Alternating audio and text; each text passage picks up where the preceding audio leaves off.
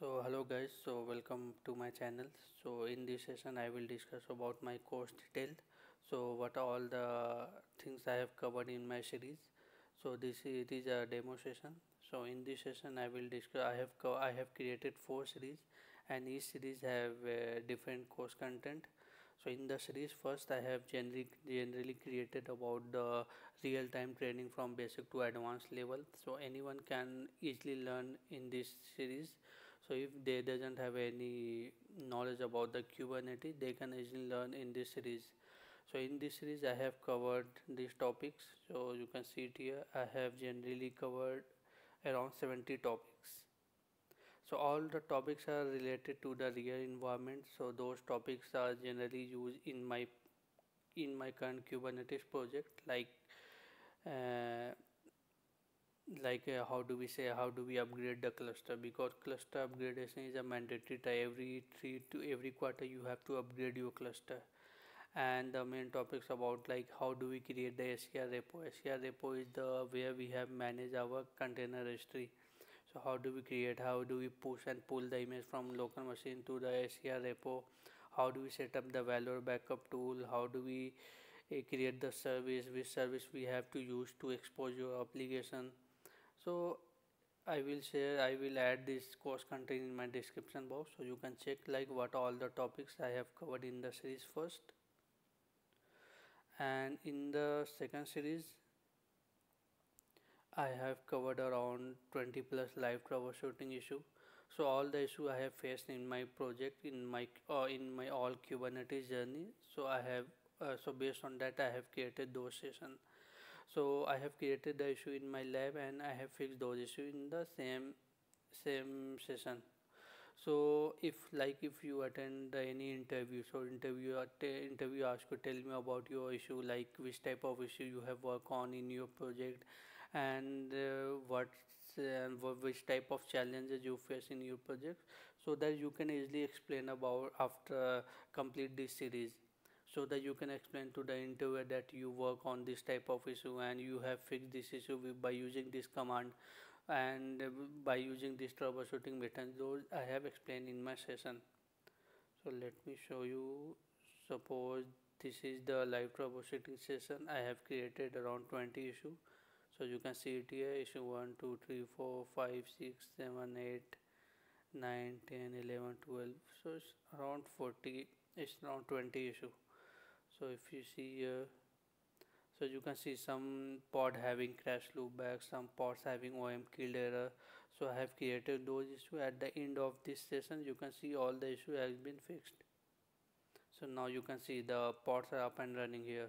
So earlier the pod was stuck in OOM killed and crash loopback so so that you can all so i have used all the command and troubleshooting method i have explained in this session so that you can also explain to the interviewer like sometimes pod getting failed state. So how do we fix those issues so sometimes pods are image pullback error. So you can see it here. It is image pullback error after the troubleshooting method after. Then you can see all the pods and up and running and our application is accessible.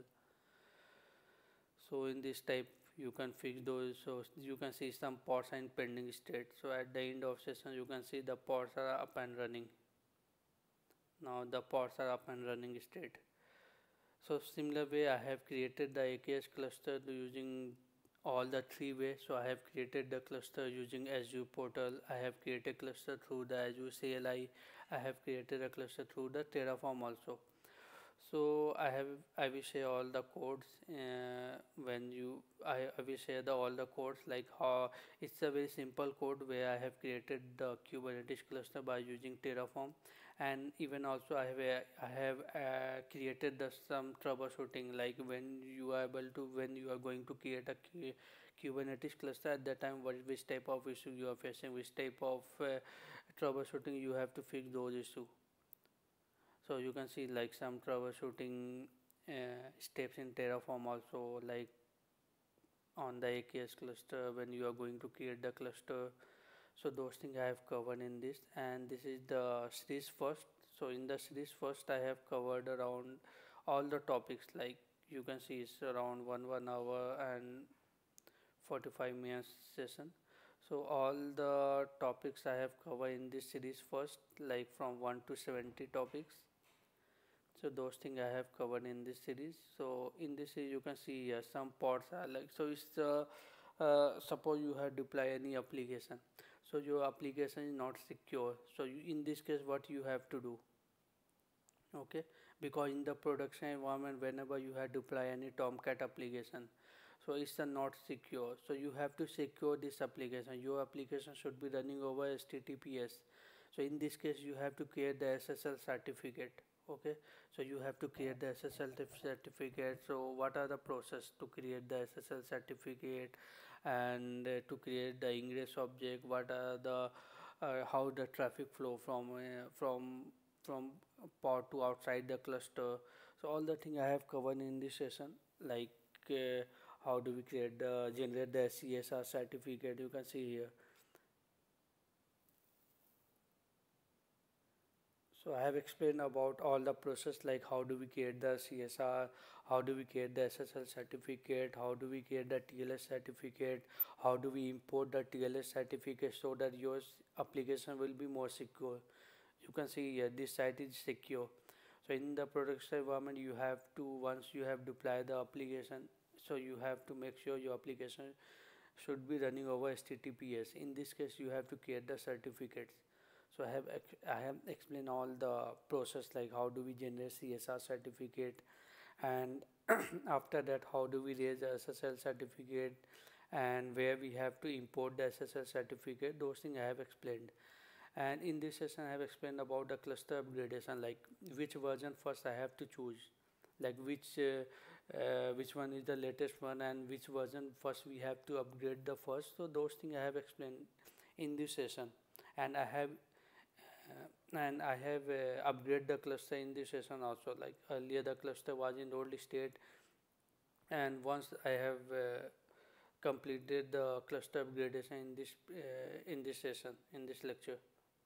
Like which command I have to use to run the cluster upgradation and which version uh, we have to use and uh, what are the pre-tasks, what are the post-tasks during the cluster upgradation, those things I have explained. And, and uh, what are the challenges faced during the cluster upgrade, upgradation, those things also I have covered in this session. So that if interview asks you tell me about your uh, challenges during the cluster upgradation, so you can also explain. I have explained about three four challenges during the cluster upgradation. Those things I have covered in this session so you can see your cluster is not able to upgrade something getting this error. So how do we fix the issue and how do we upgrade the cluster? Those things I have covered. Same thing I have deployed the Jenkins pod. So how do we access the Jenkins application? So this Jenkins running as a pod you can see it here. I, okay. I have deployed the uh, Jenkins pod you can see here yeah Jenkins pod is up and running. I have created load balancer service. By using load balancer service I have accessed the Jenkins application.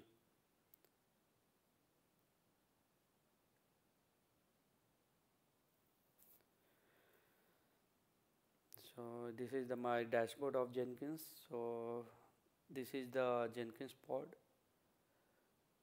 So this is covered in the series first and series 2 and the third one is the third series. So in this series I have covered about the client requirement. So whenever you work in the Kubernetes project so sometimes the cl client want like you have to deploy the cluster with this term and condition. Okay? Sometimes customer wants to deploy the uh, application on this particular worker node. Sometimes customer want like suppose in a cluster you have five worker node. Uh, let me show you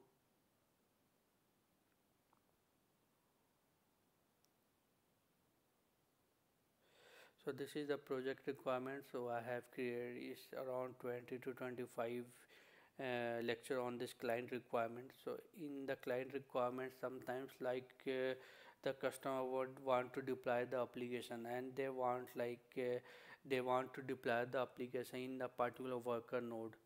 Okay so how do we achieve this one? Sometimes they want you have to add a new worker node in a cluster. You have to oh, scale up the worker node. Suppose they want to onboard a new application with heavy onboard a new application but the cluster has overutilized. So in this case uh, how do we fix the issue? How do we scale up the worker node? Okay sometimes the customer want like no new pod will be scheduled over the new over the over the one of the worker node.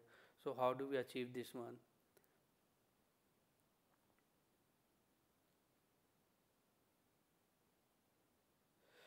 okay so this type uh, so so how so i have covered around uh, 20 to 25 lecture on this project requirement.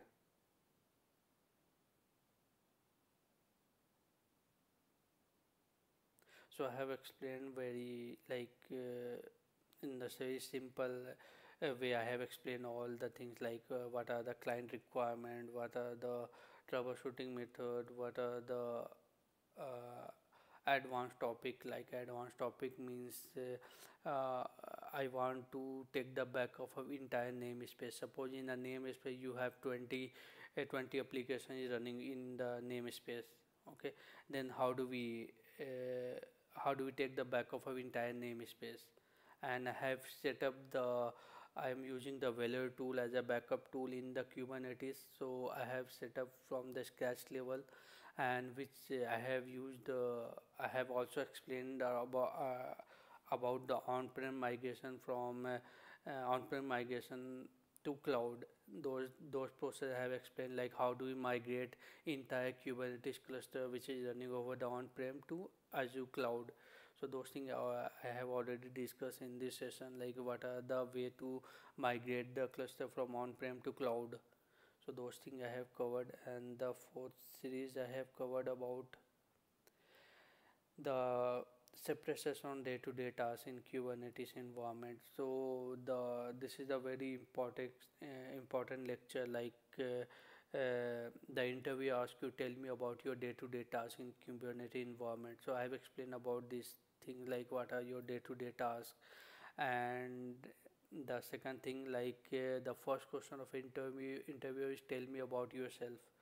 Okay, like tell me about your project detail so I will share the Kubernetes project details like how many total cluster you have managed, what are the cluster size, how many what are the worker node size, how many total applications are running there, which type of application are running there, which tool you have used in your project, like uh, how what are how many team size are there, and which all the tool you have used, which service you are using to expose your application. So I will share all the infrastructure details and I will share some 50 plus interview question and 20 plus scenario based question with solution.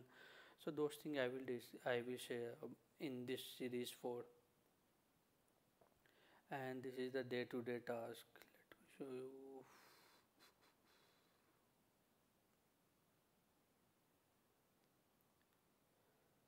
So day to day tasks in this session I have explained like what are the day to day tasks of the Kubernetes admin uh, ad admin profile jobs. So the many many one have this uh, doubt like there is no profile only for kubernetes uh, jobs. Because so if you learn the kubernetes then you have a two way to work in the environment okay? First way you have to work as a devops engineer so because in the devops like uh, Kubernetes should be mandatory because in the DevOps, if you have set up the CI/CD pipeline, so release pipeline should be deployed over the Kubernetes environment. So Kubernetes knowledge is mandatory, and there is separate profile only for the Kubernetes uh, admin.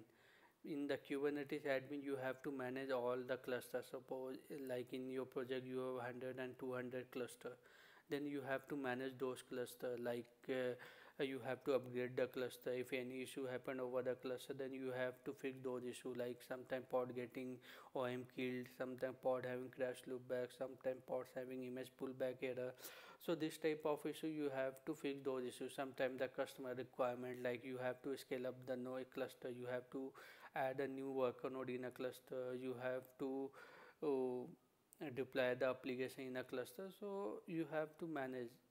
So if you see in the naukri.com you will get like around 15000 only for the job for the kubernetes administrator job. You can see here kubernetes administrator. So there's a separate profile in the market also to work only for the kubernetes admin. Okay so if you like learn this technology then you will get a chance to work in this dev in this domain okay? So in this series i have already explained about like how many total series series i have covered in my in my session. So it's series 1 2 3 and 4 so this is the feedback like i i got the feedback from the student who took my course. So this is the a few feedbacks I have present you like uh, and they they uh, appreciate about this series like they are very helpful to crack the interview and to get the real time exposure after complete this all the series. So they are really appreciate of this type of series because when I took the interview, I realized like uh, they have certified, like they have all the certificate about CKA, CKD, and they have all the certification, but they doesn't have the real time about the Kubernetes. So in this way, they are lacking in the interview. Like 90% candidate, they just mention in the resume like they are they have experience in kubernetes but when they, but when i ask about some real time question but they stuck at the time because they doesn't have any real time exposure in the kubernetes. So that's why uh, i have created this type of series so that the other one could when get also the real time exposure like what are the day to day tasks which type of issue generally we Uh, generally we work in the production environment which type of challenges we faced what are the day-to-day tasks what are the customer requirement what are the challenge faced during in the production environment. So those things i have covered in the whole package. Okay? So thanks. So this is all the all the course course detail course content i will cover in all the four series so let me know if you want more de- more details on this. So you can ping me over my whatsapp number. So that i will uh, discuss more on this. So thanks for watching. Thank you